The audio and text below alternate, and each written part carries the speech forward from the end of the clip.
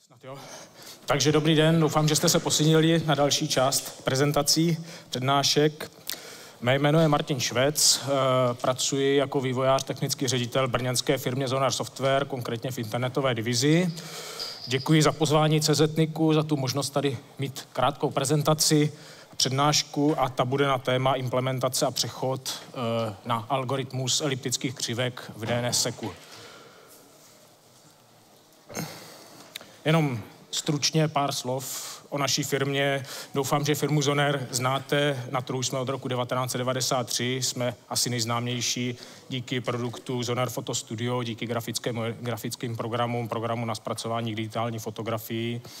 Nicméně součástí Zoneru je také internetová divize, která vystupuje na trhu pod značkou Čechy.com. Je to vlastně nejstarší webhoster v České republice, působíme od roku 1996.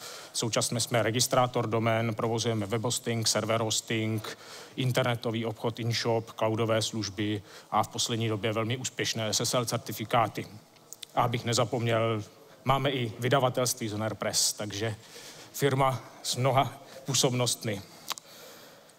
Eh, DNSSEC, eh, co to je DNSSEC, tady se asi budu trochu opakovat, protože pánové z CZNIKu povědomí o DNSSECu rozšířují už dlouhá léta, nicméně stále si myslím, že je důležité připomínat, co to je DNSSEC, proč je důležitý. Eh, DNSSEC je bezpečnostní rozšíření protokolu DNS, protože se zjistilo, že původní DNS je v podstatě nijak nešifrovaný, neautentizovaný, Eh, spolehá na všeobecnou důvěru a toho se dá velmi snadno zneužít, takže bylo nutné zavést do DNS, do DNS protokolu nějaké bezpečnostní rozšíření. Toto bezpečnostní rozšíření se nazývá DNSSEC a je založeno na asymetrické kryptografii, čili eh, jak asi znáte například z certifikátu nebo z digitálních podpisů, tak je to kryptografie založená na veřejném a privátním klíči a vytváří se zde určitý řetěz důvěry od kořenové zóny až směrem k jednotlivým listům. To zajišťuje, že pokud se ptáte DNS serveru, tak si můžete ověřit pravost té informace, kterou dostanete jako odpověď. Můžete si ověřit, že pochází skutečně od toho, kdo má právo tuto informaci vrátit a že nedošlo k žádným zásahům do této informace během přenosu. Tady je ukázka, jak vypadá takový řetěz důvěry. Je to z populárního nástroje DNSVIS, kdy je vidět, že určitá zóna doména druhé úrovně má nad sebou jakýsi řetěz sestavený z klíčů KSK, eh, ZSK klíčů, eh, veřejných klíčů, které jsou propagované směrem nahoru do zóny .cz a pak až přímo do kořenové zóny. Celý DNSek je postavený v podstatě tady na těch hlavních eh, čtyřech typech záznamů, o kterých tady bude řeč, kdy DNSky jsou veřejné klíče, jsou to dva typy klíčů, eh, eh, takzvaný KSK, key signing key a zone signing key. Toto jsou právě veřejné klíče, které obsahují ty veřejné části podpisů, veřejné části klíčů nutné pro ověřování pravosti těch podpisů. Eh, další důležitý záznam je záznam typu DS, což je vlastně delegace eh, těchto podpisů, těchto veřejných klíčů směrem do nadřazených zón, aby právě vznikl ten řetěz důvěry. Eh, poslední důležitý typ záznamů jsou vlastní podpisy, podpisy jednotlivých RR setů, což zajišťují záznamy typu RRSIC. Eh, zmínil jsem tady ještě na tom slajdu záznamy typu NSEC, což jsou záznamy, které zajišťují důvěryhodnost eh, odpovědí na neexistující domény, ale to pro tuhle chvíli si myslím není důležité, konec konců. O DNSEC už se to mluvilo moc krát a není nutné to nějak víc rozebírat. Eh, když jsem si připravoval tu přednášku, tak jsem se podíval, jak to vypadá s DNSECem v současné době v CZ zóně, CZ zóně protože na podzim tady pan Talíř zmiňoval, nebo paní Bruna, už si neuvědomuju přesně kdo, že se těsně blížíme k tomu, aby v CZ zóně už většina domén byla podepsaná DNSECem, tak to se v té době skutečně podařilo a někdy, pokud se dobře dívám na přelomu listopadu, prosince, už skutečně většina eh, CZ domén je podepsána DNSECem. Tady nějaký stav k 13.6. bylo, že to bylo zhruba 51%. Uh, tak přejdeme k těm eliptickým křivkám, na, o kterých jde, bude dneska hlavně řeč. Co to jsou eliptické křivky? Eliptické křivky je zase další algoritmus pro asymetrické šifrování. Princip je podobný jako u RSA, čili máme veřejný klíč, máme privátní klíč, umožňuje nám šifrování, umožňuje nám ověřené podepisování dokumentů, záznamů, čehokoliv, co je potřeba. Je založen na principu eliptické kryptografie eliptických křivek. Eh, přemýšlel jsem, nakolik tady mám rozpitvávat, na, o čem vlastně ten eh, algoritmus je, jak přesně funguje, ale domnívám se, že to není zas až tak důležité. Takže jsem jenom vypsal z Wikipedie jednu větu, že se jedná o hledání diskrétního logaritmu náhodného elementu eliptické křivky s ohledem na známý základní bod Eh, jestli chcete vědět, co přesně to znamená, můžete si to proštudovat sami. Eh, poměrně dost zajímavé materiály na tohle téma má třeba Cloudflare, který je velký prosazovatel eliptických křížek DNSeku, takže tam se dá najít taky spousta relativně laicky, jednoduše pochopitelných informací, aniž bychom museli zabředávat do nějaké diskrétní matematiky. Jak už jsem řekl, princip je stejný v podstatě jako u RSA, akorát, že se zde nevyužívá faktorizace prvo, velkých čísel na prvočísla, ale používá se jiný typ uh, matematického problému, který je obtížně prolomitelný hrubou silou. Těch eliptických křivek teoreticky existuje nekonečné množství, takže pokud chceme používat eliptické křivky pro šifrování a ověřování autenticity, tak eh, je nutné si vybrat nějaké vybrané parametry těch křivek. Eh, Národní institut pro standardizaci a technologii v USA zavedl některé Eh, vybrané křivky, které se nadále používají. Jsou to tady ty křivky P192, P256, P384 a tak dále. Eh, pokud by vás zajímalo přesně, jak ty parametry vypadají, tak je najdete třeba tady v tom RFCčku nebo přímo v tom dokumentu od NISTu původním. Eliptické křivky v DNSeku, jak vlastně byl, eh, byly elitické křivky do DNSeku zavedeny, eh, byly zavedeny RFCčkem 6605 už v dubnu roku 2012. Eh, od té doby jsme čekali řadu let, až bude definitivně všude podpora.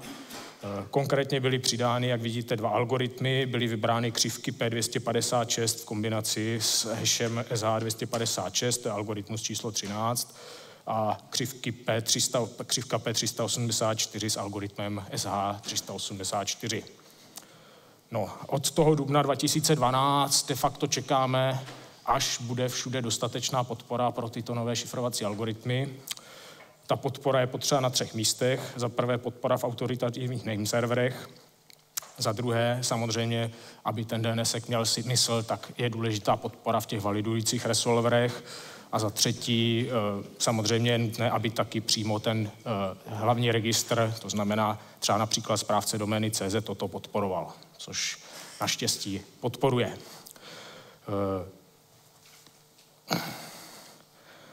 Eh, pár slov o tom, jaké jsou vlastně přednosti zavedení eliptických křivek do DNSeku. Asi hlavní je bezpečnost, kdy eliptické křivky jsou výrazně bezpečnější, mají výrazně větší zabezpečovací sílu než klasicky používaný algoritmus RSA. Uvádí se, že eliptické křivky P256 mají sílu zhruba jako RSA 3072. Co z toho vyplývá? Vyplývá z toho, že nejsou čast, nutné tak časté rotace, což ušetří spoustu času při, a výkonu při zprávě DNSky. Eh, a je možné použít i jen jeden klíč místo té klasické kombinace KSK plus ZSK. Pokud, pokud co jsem se díval, tak eh, v současné době vlastně ZSK se doporučuje rutovat zhruba jednou za měsíc. Eh, v případě těch eliptických křivek jsem se do, dočetl, že doporučení jsou třeba až v řádu roku. Takže ten rozdíl je opravdu jako zásadní. Další, co je nesmírně důležité u eliptických křivek, a v podstatě to byla asi hlavní motivace, proč jsme je zavedli, je velikost záznamů, kdy právě díky tomu, že ty eliptické křivky e, dokáží mít stejnou nebo větší sílu při mnohem menší bitové délce, tak se výrazně zmenší e, veškeré záznamy, které tečou v rámci DNSky po síti. Jednak se výrazně zmenší velikosti zónových souborů, zásadním způsobem se zmenší i možnosti DNS reflection útoku, protože pokud útočíte eh, na autoritativní server, tak je zásadně rozdíl, jestli se vám vrací relativně malé množství bajtů eh, těch záznamů eliptických křivek, nebo jestli jsou to ty obrovské záznamy RSA 1024, 2048 a tak dále. E, co je další důležitá vlastnost, že díky tomu, že ty záznamy jsou výrazně menší, tak dochází k menší fragmentaci paketů a s tím spojených různých komplikací po síti, kdy prostě najednou není nutné řešit problémy, jestli se ty pakety fragmentují, jak často se fragmentují a podobně. E,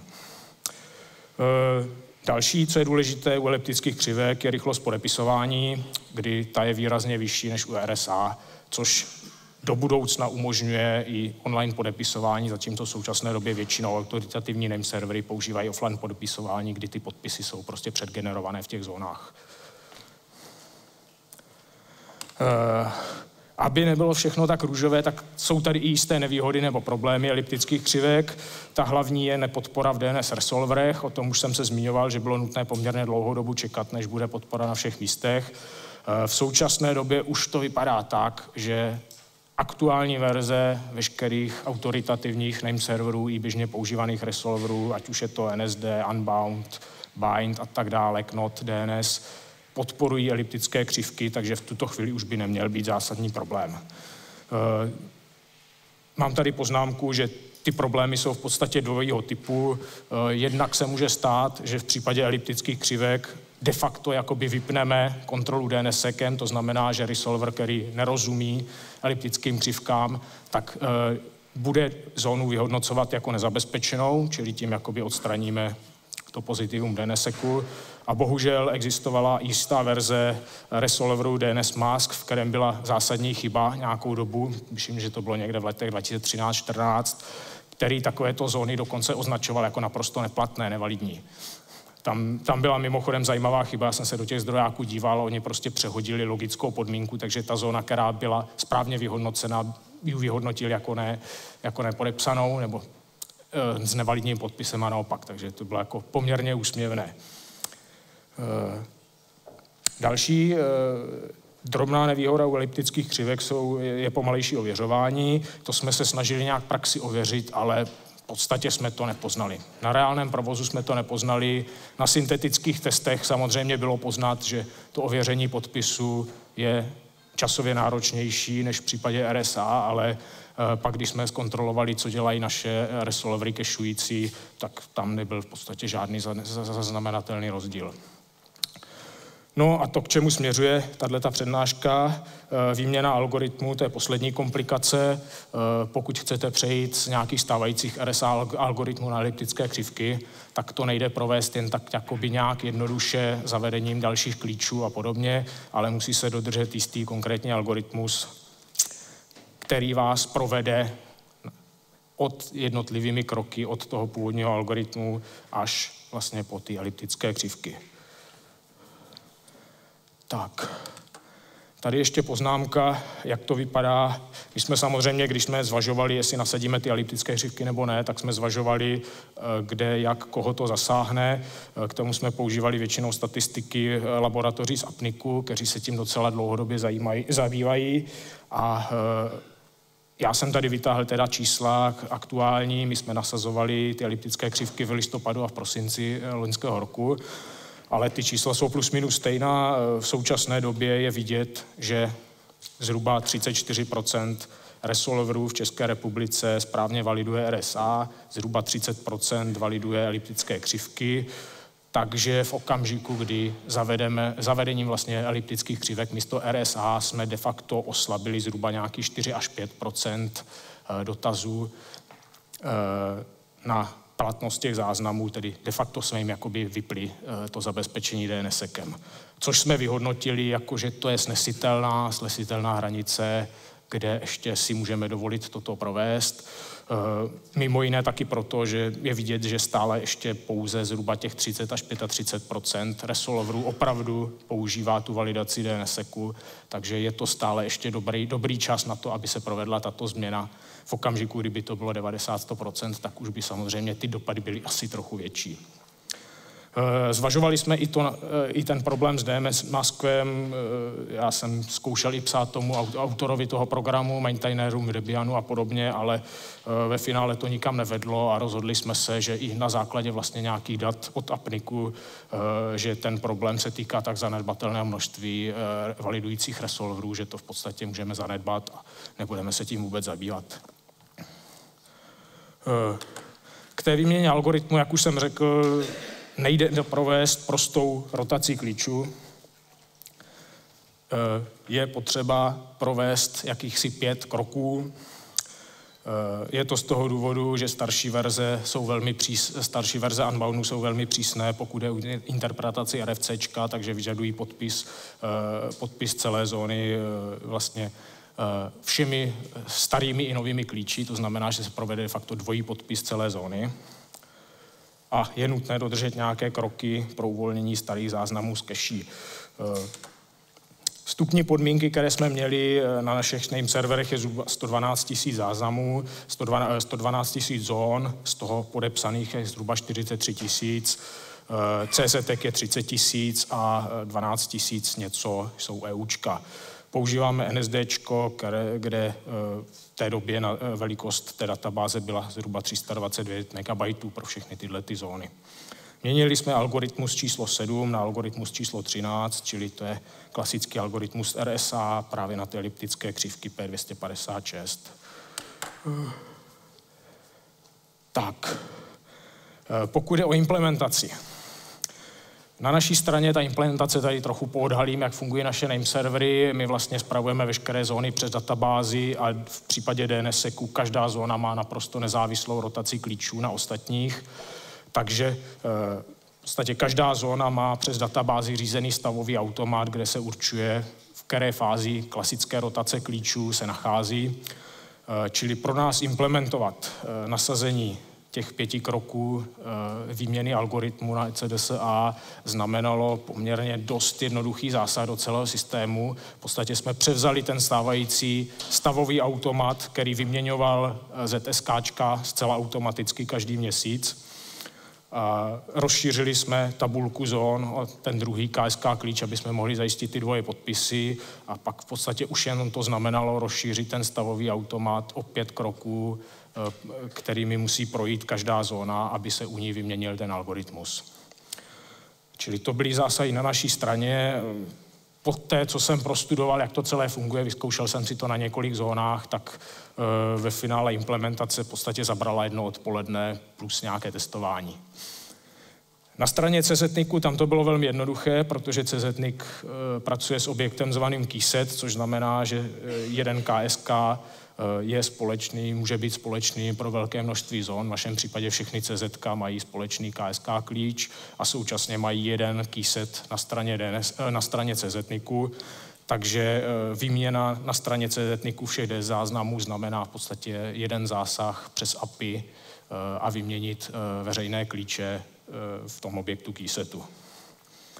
Takže to zase bylo bezproblémové. Výchozí stav zón, jak už jsem řekl, přecházeli jsme z toho algoritmu 7. Eh, měli jsme tam klíče 2048 a 4096 bitů. Neptejte se mě, proč to tak bylo. Je to dvojnásobek toho, co se běžně doporučuje. Z nějakých historických důvodů jsme to prostě kdysi v roce 2010 zavedli a byl to taky jeden z důvodů, proč jsme přecházeli na ty elliptické křivky, aby jsme se právě zbavili tady těch velikánských eh, RSA, záznamů.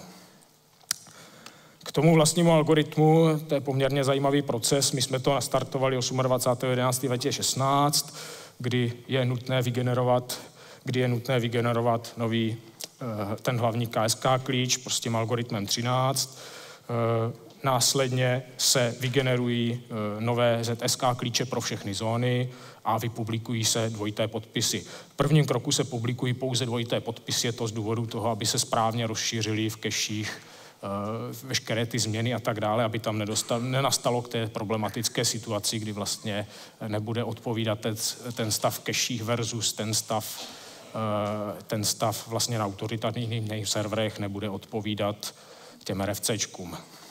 Čili to je první fáze. Tady jsem zase eh, přidal obrázek z DNS Vizu, jak to vypadá. Je vidět, že tam přibývají ty šipky reprezentující ty jednotlivé signatury, ale v tuhle chvíli se ještě nepublikují ty vlastní klíče. V druhé fázi, to jsme provedli zhruba o den později, tam je nutné počkat zhruba těch, já nevím, Eh, ne zhruba, ale je nutné počkat přesně eh, tolik, kolik jsou nastavené TTL v těch daných zónách, což v našem případě většinou je to nějakých, eh, nějaké, nějaké dvě hodiny a tak dále, takže jsme v podstatě vzali ty nejdelší TTL, co tam máme v těch zónách a počkali jsme prostě dvojnásobnou dobu, aby opravdu ty keše vyexpirovaly. Tady už vidíte obrázek s tím dvojím podpisem, kde ten starý algoritmus je navázaný přes D záznam právě v tom řetězu důvěry, ale vedle už jsou připraveny ty nové algoritmy se všemi těmi podpisy do kříže. 1.12. ve spolupráci s CZNIKem jsme provedli výměnu klíček v KISETu. Dělá se to tak, že, jak už jsem říkal, z KISETu se odebere starý klíč, přidá se nový klíč. Tady pro ilustraci vidět, jak to vypadá, pokud se tam nechají oba dva, ale pro tu samotnou výměnu to není nutné. Takže my jsme rovnou přešli do tohoto stavu, kdy se zruší ten starý veřejný klíč a nechá se tam jenom ten nový. Tahle operace trvala Čekali jsme na to poměrně jako dlouho, protože než CZNIK, CZNIK tam má nějaké prodlevy, než zpracuje ty zóny a tak dál, takže netrpělivě jsme asi hodinu čekali, co se stane, jestli se opravdu něco stane, jestli se stane všechno to, co jsme čekali, protože tady tato změna probíhá vlastně pro všech těch 30 tisíc zón naraz jeden okamžik, tak to bylo jako trošku nervózní jedna hodina. Ale prošlo to všechno v pořádku. Následují kroky odebrání starých DNSky, Zase se ponechají podpisy a konečně pátý krok, který jsme protáhli až někdy do nějakého 14. 12. 2016 pro jistotu, kdy už se opravdu vyhážou všechny ty staré podpisy a zůstane tam jenom ta nová struktura. Vzhledem k tomu, že v případě toho CZ, TCZ domény to proběhlo všechno v pořádku, tak jsme navázali hnedka v prosinci i e, eliptickými křivkami u EU domén. E, to se týkalo zhruba 12 700 zón. Ten postup byl úplně identický a zase proběhlo to zcela bez problému. E, tady to, co vás možná bude zajímat, ty výsledky přechodu. Jednak jsme tedy výrazně ušetřili místo, pokud jde o velikost té databáze všech zón, kdy z 329 MB jsme spadli na 164 MB. Výrazně se zkrátila citelně doba kompilace zón zhruba o 30 eh, co teda, jestli čekáte nějaké veselé historky z natáčení nebo něco podobného, tak musím vás klamat. K mému překvapení to proběhlo všechno naprosto v pořádku, nikdo si nestěžoval, nikde nic nezhavarovalo žádné komplikace nenastaly. Byl jsem tím poměrně dost překvapený. Jo? Sám jsem to nečekal, že to bude až tak hladký proces. Eh, tady jsem ještě vytáhl eh, aktuální údaje. My jsme tedy byli v rámci CZ, jsme byli první, kteří hromadně takto nasadili ty algoritmy ECDSA. Bylo to, jak už jsem říkal, toho 1.12.2016. Eh, od té doby nás následoval zatím, pokud, jsem, pokud mám informace, následoval nás pouze další velký registrátor, a to je Ignum, eh, kteří převedli na eliptické křivky někdy koncem dubna, tuším asi 50 tisíc zón, čímž se algoritmus eliptických křivek dostal v české zóně na tuším třetí už místo, kde už celkem 12% všech podepsaných domén je podepsaných právě eh, algoritmy ECDSA. Tak, to je z mé strany všechno. Děkuji za pozornost. A jestli máte nějaké dotazy, něco vás zajímá bližšího.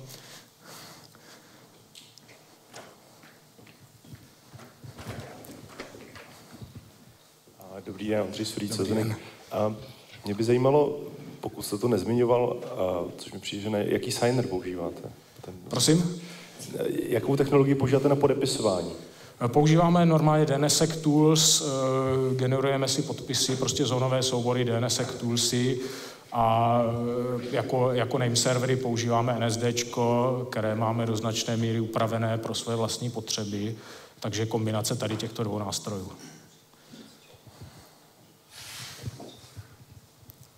A taky Jarmír Teličce z taky připojím toto zem. Nebo děkuji teda mm-hmm. samozřejmě v první řadě za, za vaší práci. Teda doufám, že ostatní registrátoři se to chytnou a bude jich víc. když mají teďka tak pěkný popis, který jste ve, ve slidech. Já bych se akorát zeptal na ostatní TLD, s tím jste zmiňoval, že uh, jste to prováděli i pro EU doménu. Uh, jaký tam jsou vlastně zkušenosti, jestli tam to probil stejně hladce a vlastně vy ještě potom myslím, zmiňujete na svých stránkách, že máte ještě nějakých dalších deset asi TLDček, nebo možná víc, nevím. Jak je to tam s podporou ECDS a třeba a vkládání do registrů?